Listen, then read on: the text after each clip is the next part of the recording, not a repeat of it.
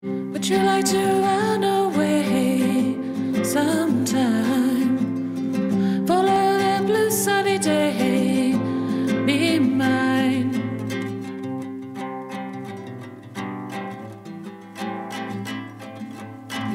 Follow the blue skies up ahead, don't you wait.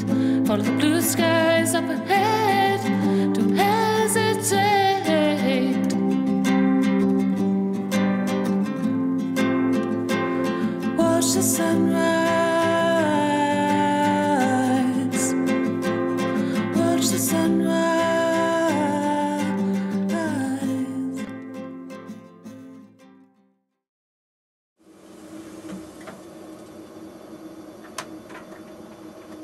We're still in Penhurst. We've been here for two months. We thought we'd have left over a month ago. We'd hoped to have left over a month ago. Yeah. Um, we haven't Yeah. yet.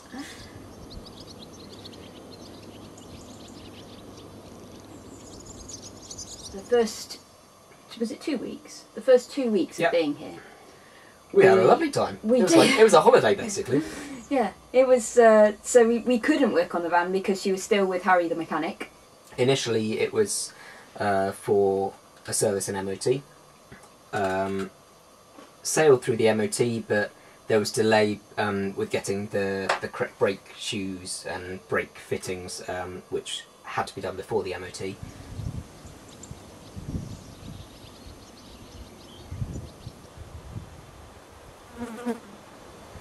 This place forces you to slow down. Yeah. It's naturally. It, it naturally carries you at a different pace to London. Mm. Probably the extreme opposite. And things just unfold here at a gentle pace, and the nature, the natural world, and, and all its beauty. I, d- I just find it freeing and safe and good for the soul. I found it quite difficult um, adjusting to the pace of life here because it's so different from London. Um, I felt that I had to be doing the whole time, and so it took me a while to get into the mindset of actually, no, there is no rush. And once I got into that mindset, I've particularly liked the swallows.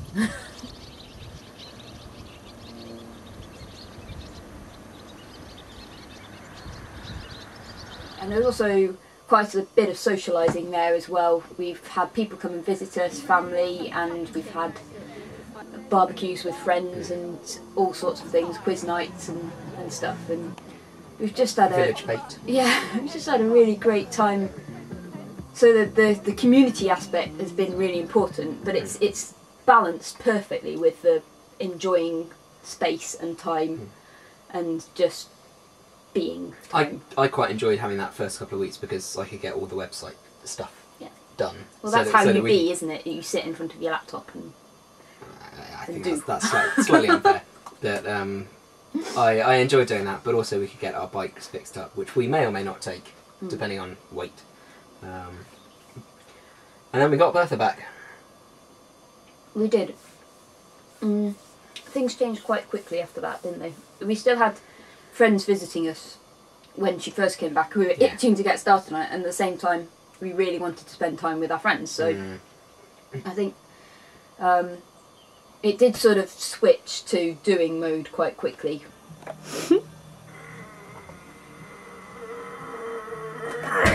the biggest hurdle we have overcome, and I do say overcome, uh, is the damp issue. I would just say water in general. it seems to have been pouring in through every single gap in the wall, um, every single seam. It's been the bane of my life.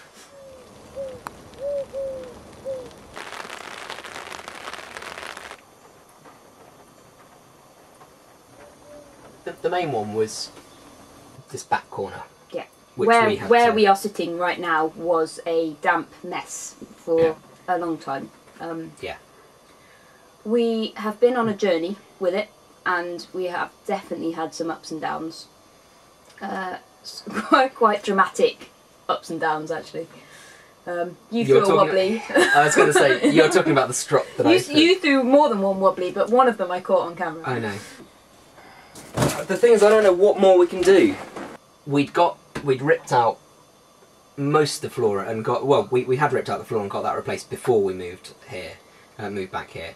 And then we had the walls to go, and we found the uprights in this corner were totally rotten, and we had to remove the plywood back here, and to do that we had to take the window out. And now here we go. Nice. So that's that's wet and it looks like the rail outside that's got screws through. The screws may be leaking. That's that's the remains of a screw.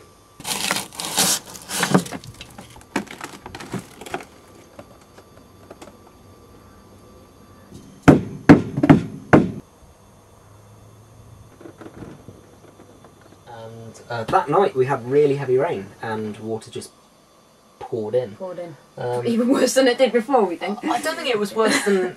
I, I think it's just that it had all always been hidden behind the plywood before, Mm. and my I, I still think that with the old van, the water was coming in through the seam above the window, then going out through the window because that wasn't sealed properly. That was sealed with bathroom sealant. So it took a few a few goes of pulling back seals um, on the outside, and This was literally weeks of work. yeah, yeah, I think it was two solid weeks working on the damp problem. And and rebuilding this corner. Yeah. Um, Uh, we finally got to the point where we did a, a test, a, a soaking test. I like to call it a soak test. A soak test. as, as you would in, when testing software, you run a soak test um, to, to did it. check how it works under load. Um, only when testing software, no one actually gets wet. Well, I think that's a pretty good uh, soak test. Yeah? Yep. So there are two themes above here. Yeah. There's certainly water droplets of- on the black uh, part of the window. Yep, I know. Yeah. That would suggest it's coming in above the window in one of those seams. Yeah. On the second attempt, it worked, and we were very happy. So that's coming from the roof over the seams, both seams, yeah? Yeah. And we are dry inside. Get in. I'm not dry out of here, So that was a huge, that was a huge battle one for us. Mhm. Uh, then we could get on with rebuilding this corner and painting it and making it look nice. And uh, I approached the uh, task of getting the upholstery done at that point, and I had some help from my mum and Steve has helped as well, although I've done most of it. You did. You did all the Yeah. upholstery. Um, I Yeah. sewed one. Well, I, I sewed You've up. done two- all the curtains, Two, uh, yeah, I did all the curtains, but I sewed up one edge on a seat arm and uh, two cushions. Um, So we're, we're really about chuffed with this. We know it's it's wobbly um, because I've never done anything like this before. I don't even really know how to use a sewing machine properly. it's us. Uh, but and we've totally bodged our way through it. But I kind of like that it's wobbly. It fits us. Yeah, Yeah. yeah, I like and that. it's quirky and it's colourful and I'm happy. I'm mm. really happy with the way this place is looking and I think the upholstery and the curtains have made a massive difference on that. Yeah, it does. We have had problems with the water pump from the start. Do you want to um, turn it on and see if it works suddenly, hmm. magically? Nope. Uh, Just as you fix something, or well, you think you fixed something, something else goes wrong. And to be honest, the thing that you fixed might not even have been fixed properly. Mm-hmm. Gotta love it. Whilst we're on the subject of water, uh, at that stage, the heater, uh, water heater that we had, was leaking water, so we soldered that up.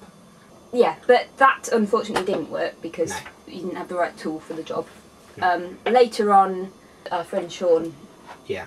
Soldered it and that worked. He it? did the other free split, and Yeah. that then was holding its pressure fine when it was, um, when it was just water under pressure. When it was cold water under pressure, so the system pressurized. That was fine, no leaks. Um, then when we heated it up, that's the point at which my soldering split, and then we got Ishvan, uh, a plumber, um, who came out and very kindly soldered it for nothing. Basically, he put on the biggest blob of solder you've ever seen in your life, um, and uh, and that then solved the leaky problem. But then when we had the gas check, uh, we realised that there were problems with the burner. Um, the burner wouldn't go off when the hot tap turned off, and with so. So this this problem pretty much sums up a lot of the problems we've had. We've Yeah. we've fixed something and Yeah. then something else has gone wrong and we've had to fix that and then something else has gone wrong. So it's and then we end up buying a new one. uh, we're at the stage where we have just purchased a new one and we're waiting. That's New heater. basically Yeah. yeah, that's basically what we're waiting for now. Is that's what's delaying us now is is waiting to get the Yeah. new boiler Yeah. fitted. There was a nice moment um, on the our wedding anniversary is the first of September, Mm. and uh, it was just that was our first um, trip anywhere in Bertha, wasn't it? We didn't stay overnight. Uh, the original plan was to stay overnight, but we weren't quite there with that yet at Yeah, that point because yeah. we didn't have a toilet. That's the important thing. minor point. This is the spot where I proposed to Kiri. Um, although this isn't the exact spot. It was, it was on the beach though. And uh, we have just driven Bertha. Uh, I've driven Bertha for the first time, very exciting. We've now driven her onto the beach. Uh, we nearly got stuck in the stones. And um, yeah, now we're rather more stable um, in terms of Bertha. Um, I wouldn't call either of us absolutely stable. But uh, we're having a cup of tea and a slice of cake uh, on our rebuilt uh, interior. And you've got to, got to love the, the cushion covers here. Not redone yet. Lovely. Shall we enjoy our cup of tea? Yeah, I'm going to turn the camera off. Would you now. like the bigger bit of cake? Yes. Thought so. We were blessed with a beautiful, beautiful sunset that we awesome. got to admire when we were driving home. And that, for me, was a moment of rightness. That was a moment of just feeling at one with this project and, like, yeah, everything's going to be okay. a friend of ours, uh, Sean, lives in Portsmouth and well near Portsmouth, and uh, he is a lovely, lovely man, and he knows lots of things, and he has his own motorhome, and he just offered to help us out with all the things that we hadn't got done at that point. That was our first road trip. Uh, we are in Hamble. Um, we Oh, we. I didn't even know that. Name of the place. yeah, near Southampton. Um, we're on a lovely campsite, which is just basically a field behind a nursery. And we're here because Sean has uh, Sean is helping us fix various things. So um, last night uh, we fixed the issues that we had with the Zig. That's fixed. All of this lighting now, so that's all working, which is good. Our water pump is dead though, so we're going to go off and buy a water pump today. Um, and we also have a few other things we need to buy a few fuses that might fix the fridge because the fridge isn't working either we removed the the oven uh, we need to get a blanking plate uh, for that and we also wired in cigarette lighter charger from the back We stayed for, was it four days in the end? Three nights. Three nights, yeah. Yeah. And Sean, lovely Sean, came down to the campsite um, after work every day to help us out. So we worked into the night with Sean. Yeah. yeah Um, and then during the day we would go off and get Mm. things that were needed for that next night's work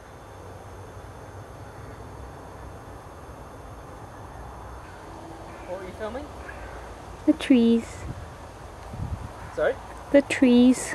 the trees you're such a hippie so what have we done today Um, what have we done today? We've driven around Portsmouth and Southampton a lot and got quite lost. And uh, heard a random clunking under the vehicle, which was a fairly scary experience. And we've decided that that's because the exhaust is loose, a little bit too loose. We visited lots of places and bought lots of things, including a water pump for the van, which Steve managed to get at a bargainous price, price because he's clever like that. No, it's not like that. It's just that we went in and went. He's tight. yeah, exactly. I think on the whole, it's feeling like we're. This is the first road trip that we've really done. And Yeah. so far, so good. First night we slept anywhere other than my parents' drive. Yeah. Um, How did you feel about that? good. A Bit nerve wracking on the whole, but we are in a field in the middle of, well, we're in the middle of a field that has nobody else in it, so that feels quite secure in a way.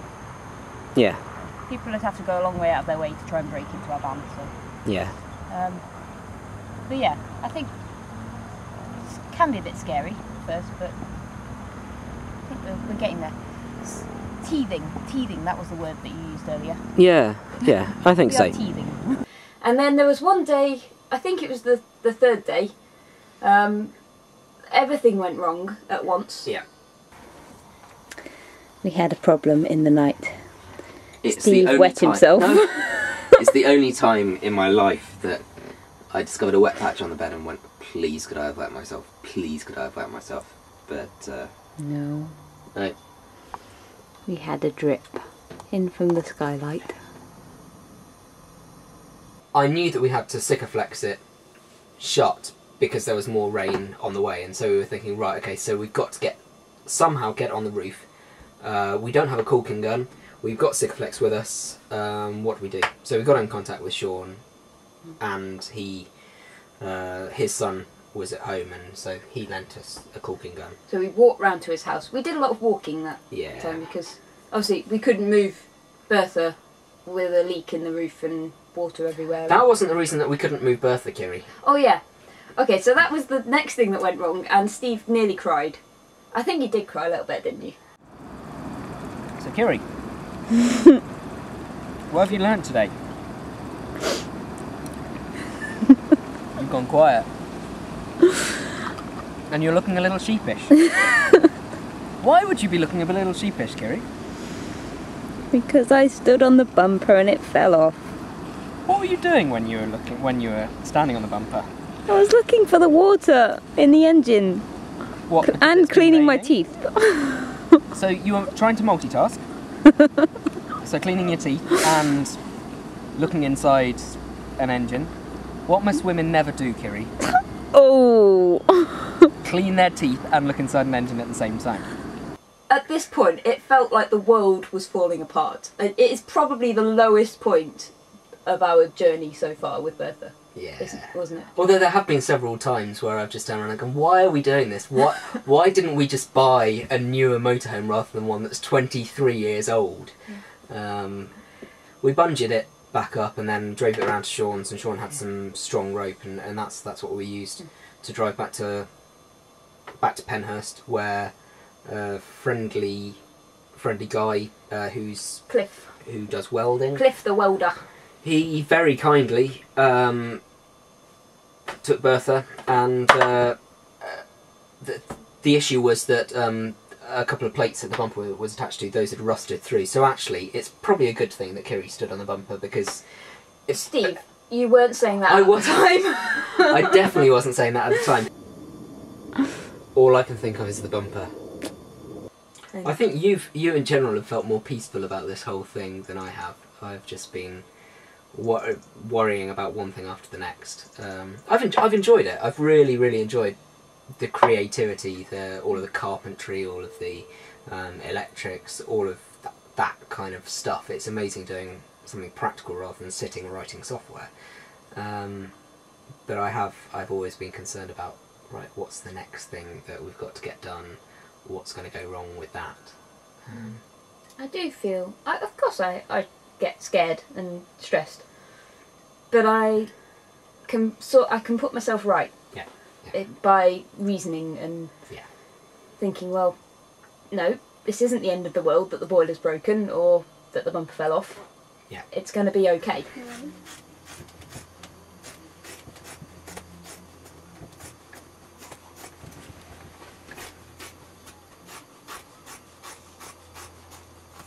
There, much better.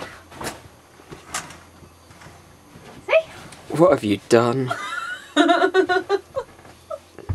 I think wobbly is the theme, but wobbly suits us. We've been a bit wobbly uh, uh, on the whole. just a little bit It's been a wobbly Yeah. two months, yeah but that's okay because you live and learn, and we've I think we've learnt a lot about each other as well in Yeah. this time. And not trying not to be too cliche, but we our relationship has evolved faster than it previously has because we've faced so many challenges together. You learn a lot when you're working together on a project. Yeah. And I don't think we've got all the answers yet about how we deal with the other person when they're throwing a wobbly or, or when, when they're being totally irrational and sensitive about something. You're not still filming. Yeah. Plonker. So our, our next plan is to, as soon as we set off, we're going to go and visit friends and family in the UK.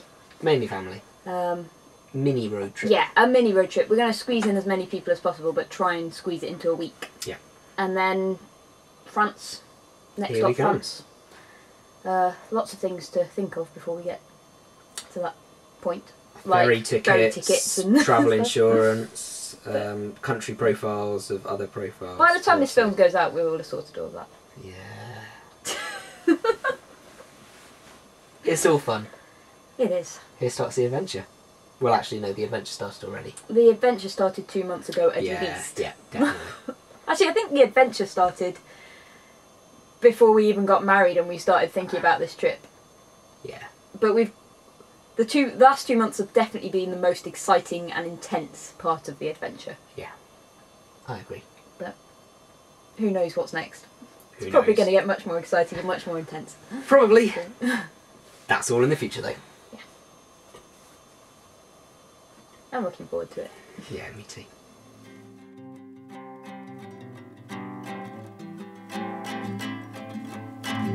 Follow the blue skies up ahead.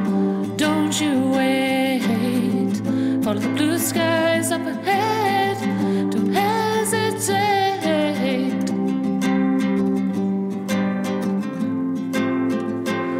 Watch the sunrise. Watch the sunrise.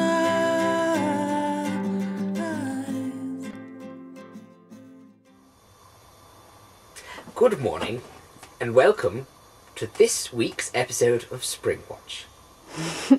it's autumn, therefore, we haven't been watching anything. Goodbye.